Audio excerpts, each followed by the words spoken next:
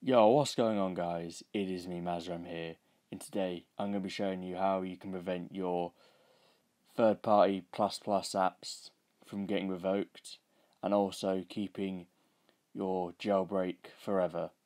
So before we get into this video I just want to say I am running a giveaway in this channel. I'll leave a link for that down in the description.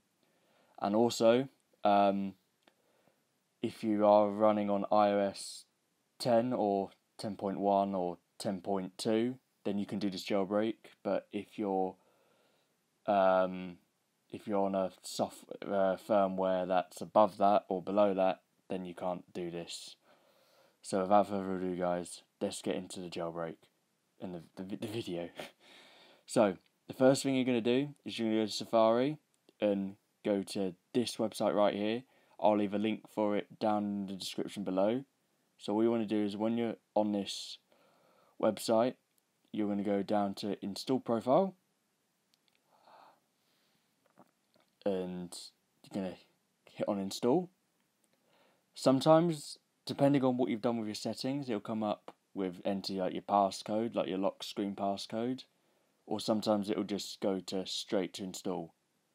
So, once you've installed this, um, you want to go to settings, um, go to VPN, and then as you can see, it'll come up saying anti revoke official. I will also show that I do have it as well. So if I go to where is it? Um, general, data and device management, and as you can see, it's right there at the bottom. Anti, App Nation anti revoke.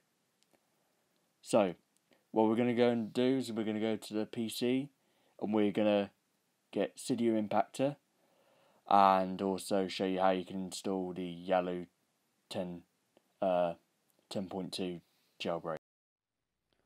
Alright guys, so once you've installed Cydia Impactor, I'll leave a link for it down in the description as well and a link on how to get the Yalu file as well.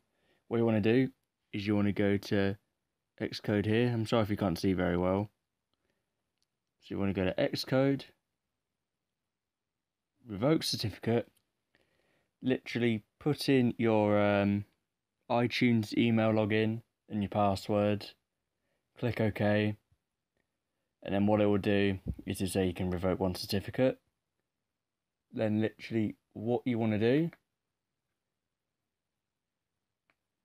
Again, I do apologise if you can't see this very well. If you want to drag and drop oh my god, I can do it today. Drag and drop the Yalu IPA file. Just click copy on there.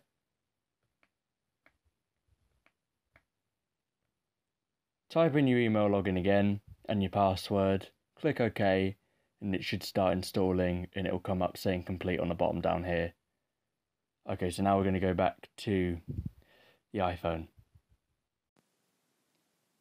Alright guys, so once you've um, installed the the Yalu 10.2 file on Cydia Impactor, it should come up at the bottom down here or wherever on your um, on your app screen. Um, what you want to do is it will say um, go and trust this app. So what you want to do is you want to go to settings, go to general, go to uh, profile and device management.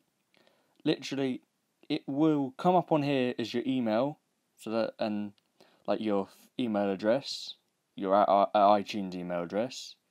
Then you want to do is you want to hit trust. Then once you've done that, you just want to click on this. For me, it says already jailbroken because I've already done it. But what you want to do is you want to hit go on that. It will come up in 30 seconds time. It will come up saying um, your storage is full. Don't worry, it isn't. Um, just don't click anything, and then it'll start, and then it'll go to a black screen, and it'll respring your iPhone. And then once you've done that, um, you're fully jailbroken. Um, just a note, um, once um, if you do turn your like your iPhone off, you'll have to once you because it's um, I don't know what it's called, but anyway, what what you do is when you turn your iPhone back on, you just have to go to the Yalu app again and just hit go again. And that is it. Right.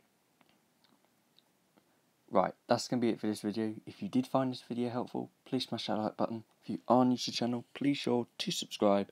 And I'll catch you all in the next video, guys.